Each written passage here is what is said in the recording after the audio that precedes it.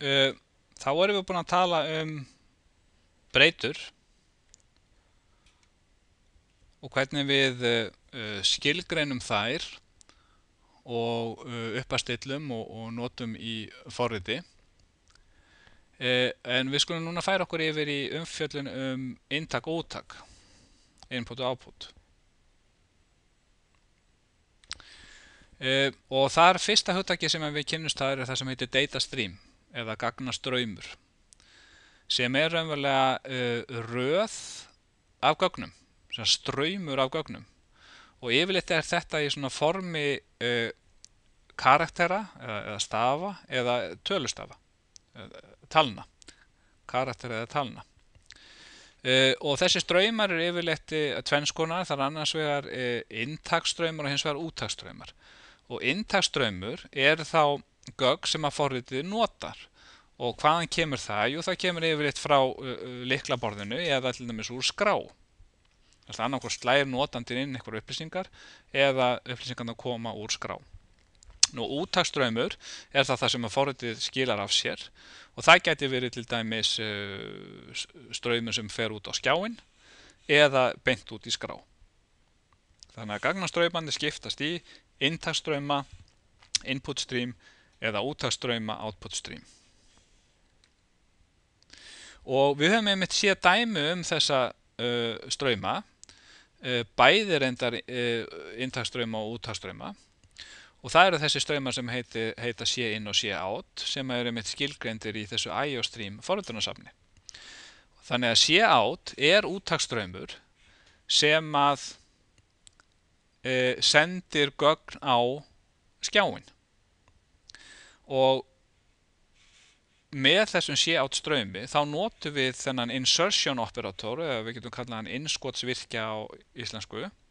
Og það er e, píla píla eða minn en minnen minn en minnen merkið. Sem, að, sem, sem að við notum til að setja gögn inn á að senda gögn út á ströymin og til dæmis uh, sjáum við það hér í þessari setningu sé átt minnen minnen number of bars. Minnen minnen candy bars.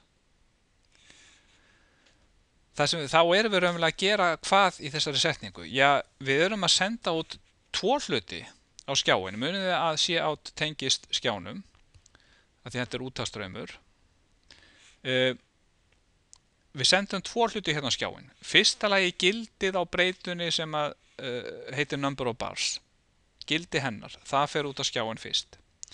Síðan erum við að senda raunverulega streng strengur, textastrengur er eitthvað sem er inni í gæsalöppum gæsalöppinnar opnast hérna svo kemur eitt bil svo kemur stafaruna, kandi, bars og endast með slass n þannig að það kemur uh, bil fyrst síðan kemur uh, kemur einhver strengur og svo kemur slags n í lokin sem að veldu því að við fáum nýja línu. Eh, þannig að við getum, eins og að sjáum á þessari setningu, sett fleiri en, sendt fleiri en eitt, eitt hlut út á skjáin í einu með því að nota bara uh, innskotsvirkjan oftar en einu sinni í línunni.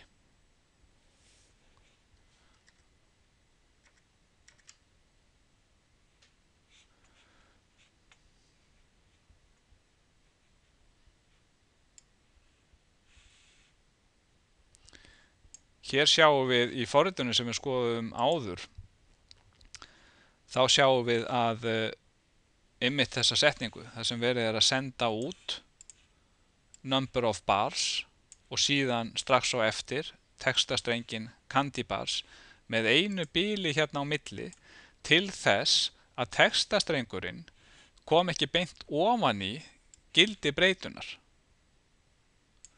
Hvernig var þetta aftur í keislu ef við prófum að keira aftur? 12 candy bars þar sem hver þeirra er 1,5 eh, þá stendur hér 12 candy bars það, þessi breyta number of bars inniheldur 12, gildi 12 og svo kemur candy bars sem að skrifast út strax á eftir en með einu bíl á milli. Það veldur því ef við fáum bíl á undan candy bars að því við höfum bíl í textastegnum sjálfum. Þið getur prófað að skoða hvað gerist ef þið sleppið að hafa bíl í candy bars textastegnum. Það er að segja sleppa því og, og eigða bílinu, þýða upp á nýtt og keira og sjá hvað gerist.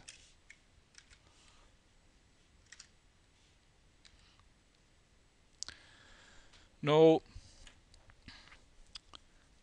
þessi setting sem vorum að skoða, það sem við notuðum, uh, sendum við tvo hluti á, á uh, útaskjáin í einu og sömu línunni, við getum fengið nákvæmlega sam, sömu niðurstöð með því að gera þetta í tveimu línum.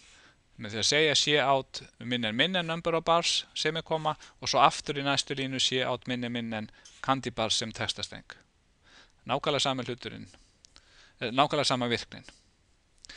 Nú það er hægt að gera flóknari hluti uh, í sömu línu. Hérna í þessu dæmi erum við að senda út textastengin total cost is dollar, svo enda textastengurinn þar og svo strax á eftir sendu við raunverulega niðurstöðuna af útrekningi. Það er að segja við erum með segð hérna. Price plus tax. Það sem að gerist þá hér er að price, niðurstaðan af því að leggja saman price og tax er einhver tala og það er svo tala sem er sendt út á úttakströmmin. E, nú við sáum það í þessum dæmum hérna að textastrengur er eitthvað sem er inni í, í töföldum gæsalöppum eins og total cost is dollar eða volt er hér. Maður, maður uh, nota semst ekki einfaldar gæsalöppur heldur tvöfaldar fyrir svona textastrengir og við höfum séð það að það er hægt að setja inn space inn í testastengi, til dæmis bara eitt bíl þá, þá kemur bara töföld gæsulöp, eitt bíl og, og aftur töföld gæsulöp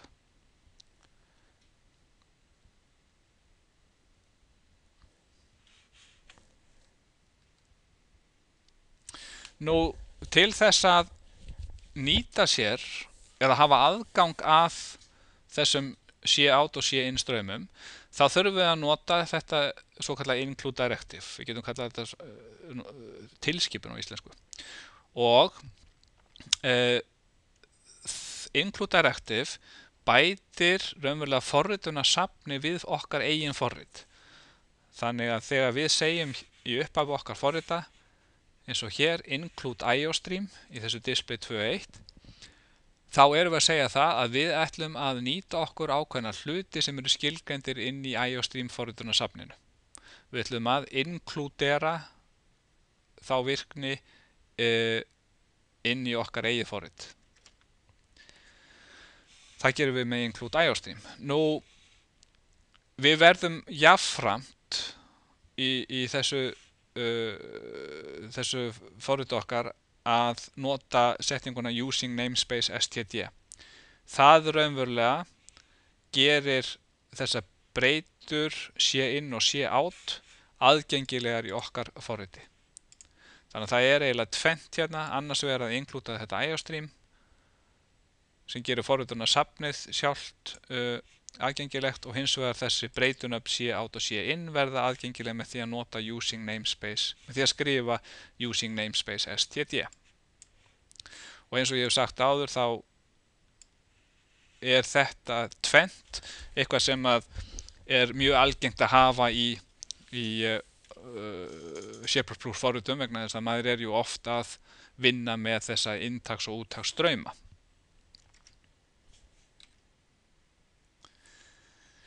Nú, við hefum aðeins kynst þess að, að skilgrana nákvæmlega, kynst þessum escape sequences eða lausnarrunum uh, sem að segja þýðandanum að meðhöndla ákveðna stafi á sérstakann máta.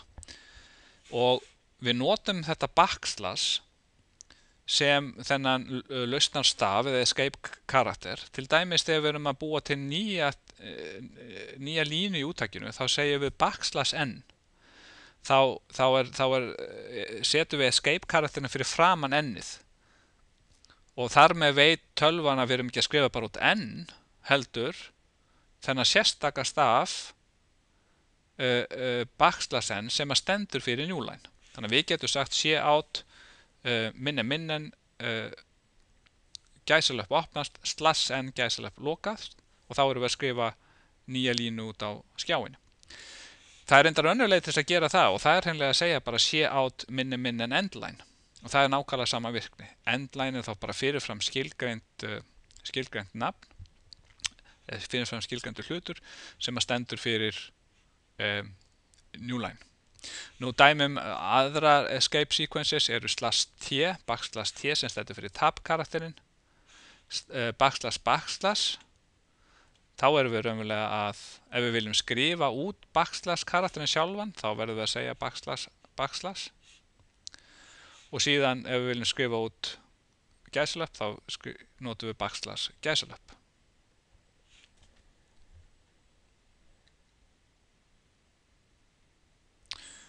Nú það er hægt að uh,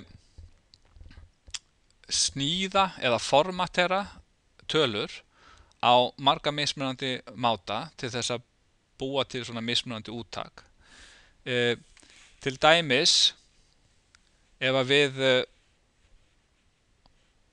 erum með setningu, gildisveitingasetningu eins og þessa hér, eða yfirlýsingu, þetta er eiginlega yfirlýsingu og uppastilling, double price saman sem 78,5 og svo, sen, svo sendum við strengin the price is dollar uh, út á see out og sendur svo price út á C-out líka og endline út á C-out líka.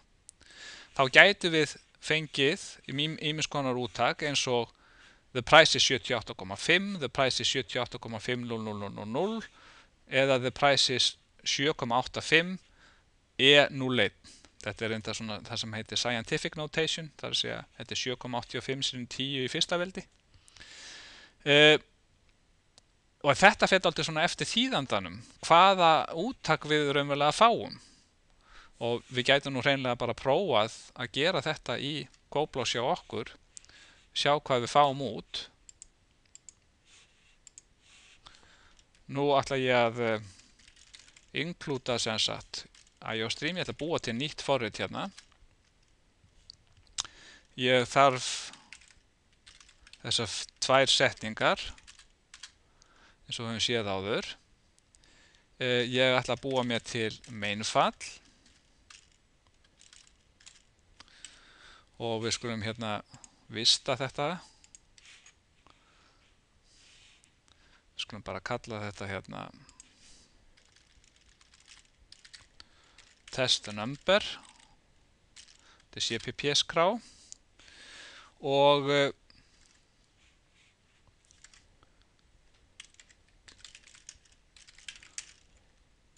skilgreinum eða lýsum þessari breytu hérna yfir.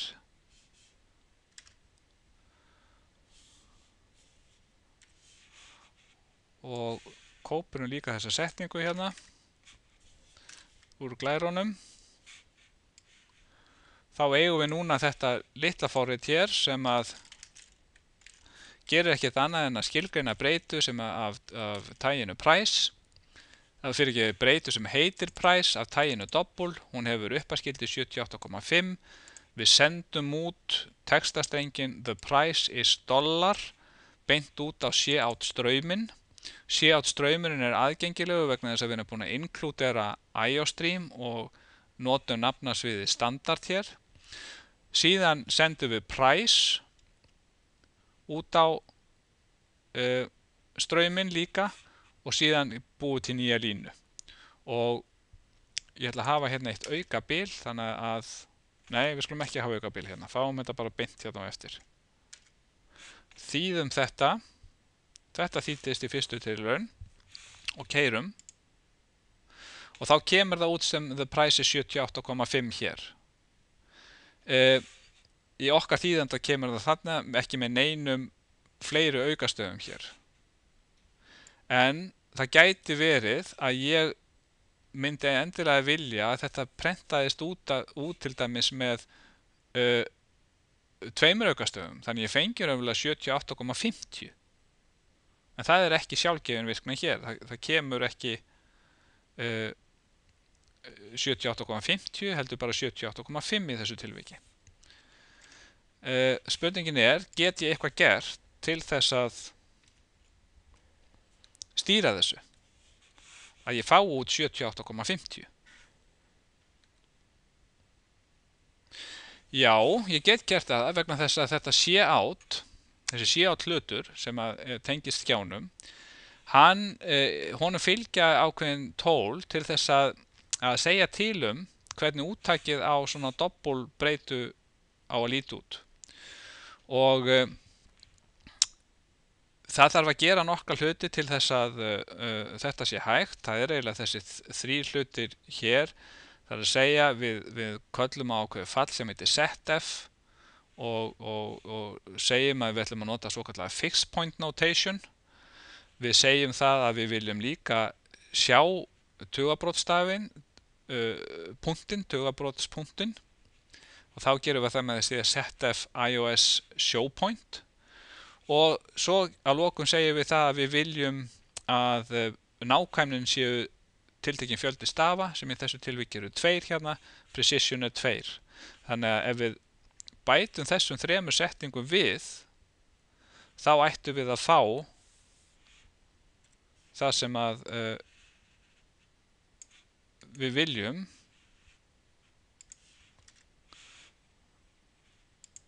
Það er að segja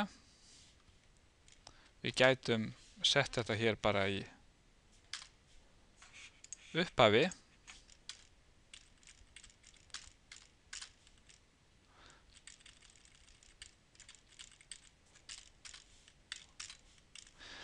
Þannig að við erum hér að set raunverulega stilla úttakið.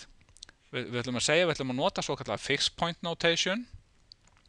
Við ætlum að segja það hér að, að við viljum sjá uh, tugabrótsstafinn sjálfan. Og við viljum hafa nákvæmlega tveir þar að segja tveir stafir eftir komu. Sjáum hvort að þetta breytir einhverju hjá okkur. Þetta uh, þýttist hjá okkur. Og núna sjáum við að præsi 78,50 í staði fyrir 78,5 áður. Þannig að þetta er svona sínir ykkur að það er hægt að stýra því hvernig úttakið lítur út. Ef maður þarf á því að halda hann að borða að, að, að segja eh, til um hversu marga aukastæði maður vil sjá.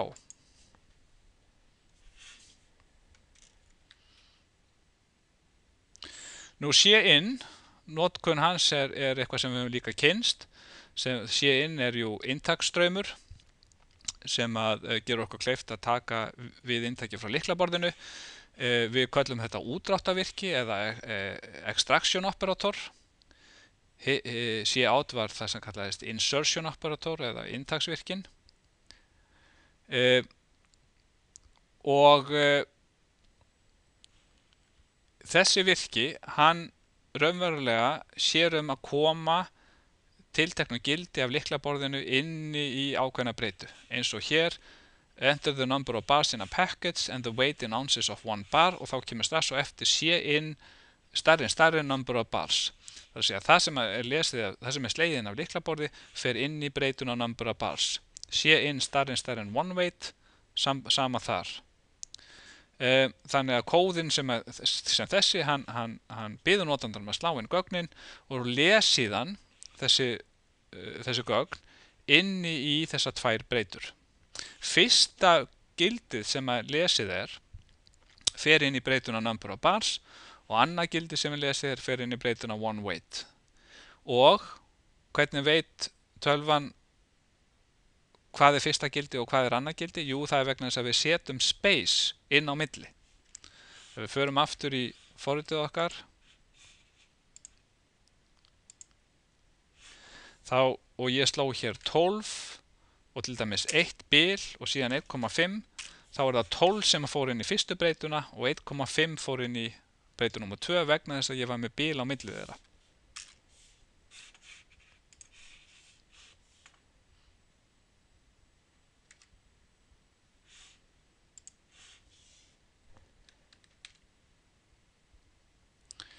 Þannig að við notum bil á milli og raunverulega gögnin eru ekki lesin fyrir við ítum á ender og það leifur okkur til dæmis að, að, uh, lagfæra einhverja villur. Ef við förum aftur í forritið okkar þá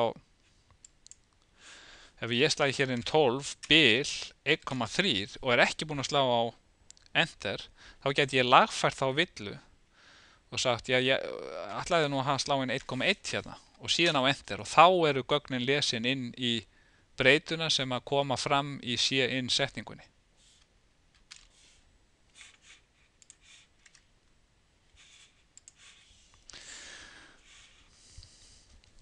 Nú, hér er dæmum þar sem við erum að nota sé-in með þremur breytum.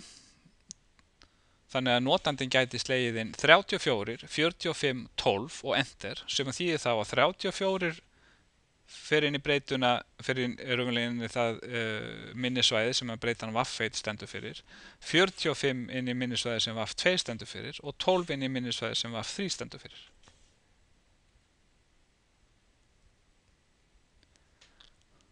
Nú og það sem er semst algengt að gera er einmitt að, að þegar maður er að byggja notandunum á ákveð eintak, það er að nota sé átt til þess að, að, að vera með einhvern skýringatesta eins og enter your age, sé átt minni minni en enter your age og vera með síðan með sé innsetningu strax og eftir sem að, að tekur þá inntaka likla borði og setur það inn í einhvern ákveðna breytu. Uh, og síðan náttúrulega algengt líka að skrifa út það inntak sem að notandin uh, sló inn þannig að notandin getur verið viss sem um hann gerður rétt þannig að þetta, í þessu tilviki hér þar sem við erum að byggja notandun með einhverja, einhvern aldur að þá verður þetta að skrifa út aldurinn sé átt minni minn en AIDS minni minn en svo texti was entered. Þess að notandin sjáu að þessi tiltekna uh, tala var, var slegin inn. Nú þar sem að uh, ég ætti að það sem ég ætla að enda bara hér á var, er það að, að skrifa eitt lítið forrið uh, sem að uh, les þar sem að notandinni beðin um að slá einhverja tölu af liklaborði og forriðtið leggur tölun á þrjáviða og skrifar það út.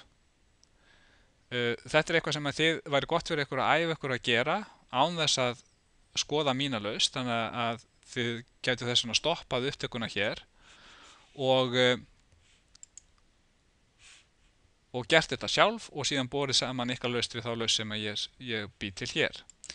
Þannig ég ætla að búa hérna til Tómas Grá ég ætla raunverulega bara að afreita þessar tvær setningar hérna sem við þurfum alltaf í upphafi. Ég ætla að vera með main for it Ég ætla að vista þetta.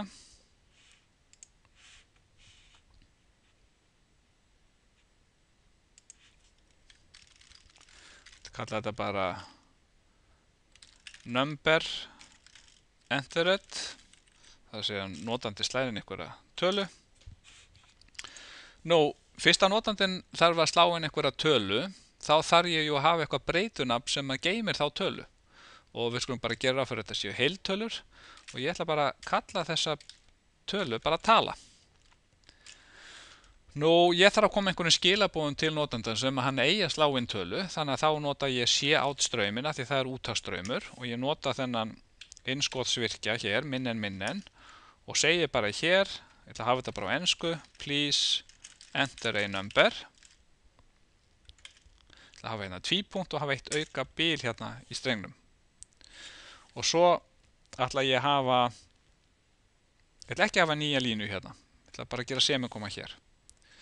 Nú þegar fyrst að ég er búin að gefa notandandi kynna hann er að slá inn töluna með því að, að og, og ég sendi það hér út á séátströyminn þá ætla ég að hafa uh, sé innsetningu hér á eftir. Þar sem ég gerir notandunum kleift að uh, slá eitthvað af likla borði og þá munið þess nota ég útráttarvirkjan eða hérna starren starren og ég vil fá þær upplýsingar sem eru slegna inn á liklaborði beint inn í þessa tölu, inn í breytunafni tala, inn í það minnisvæði sem að breytunafni tala stendur fyrir. Og þegar ég er búin að því, þá þarf ég að hækka þessa tölu um þrjá. Þá nota ég gildisveitingasetningu og segi nýja gildi á tölu er sama sem eh, núverandi gildi pluss 3 þetta hér hægra megin við gildisveitingaverki merkið er uh, gildisveitingavirkjan er núverandi gildi á tölunni. Ég legg þrjá við það og nýja gildið er hérna vinstra megin. Þannig að tala verður í hækkanum þrjá. Nú það þær ég að lókum bara að, að skila niðurstöðinu til á skjáin og segjum bara hérna see out uh, the new uh, new number is, eða ég voru að segja after addition the number is tvípunktur og svo vil ég fá töluna og þá sendi ég hana bara út á ströyminn líka og lókum allir að fá nýja línu sem ég get gert með því að nota þetta endline og síðan er ekkert eftir að gera annað en að returna 0 returna úr meinfallinu. Og við sjá hvort að þetta þýðist hjá okkur? Já, þetta þýttist beitt engar villur. Þá get ég kerta please enter a number. Ég slæði inn 10 after addition the number is 13 þannig að í þessu litla forriti notuðu við okkur það að notuðu við raunverulega umsal hluti sem við vorum búin að fjallum hérna í fyrirlestrinum þar að segja við skilgændu breytu sem að eh, var á tæginu int breytu nafnið var tala við notuðum síáttströymin sendum ákveðin textastreng út á þann ströym þar sem við báðum notandunum að tilgangur var, voru skilaból til notandans. Við lásum síðan inn af liklaborðinu með sé innströmmnum inni og, og settum það gildi inn í breytuna tala við notum gildisveitingasetningu til þess að hækka töluna um þrjá og breyttum þar með því gildi sem að geimt var í tala. Munið að gildi, í gildisveitingasetningu er því breytt sem er vinstra megin við gildisveitingavirkjan. Og lokum skrifuðu við út hvað hafði gerst, það er að segja eftir addition þá hafði talan hækkað um eitthvað og við komum þeim skilabóðum til notandans aftur með því að senda út skilabóð uh, á síátt stöyminn, fyrst með texta og svo strax á eftir með gildi breytunar og svo á lokum með endline sem að gera okkur kleift að skrifa út nýja línu.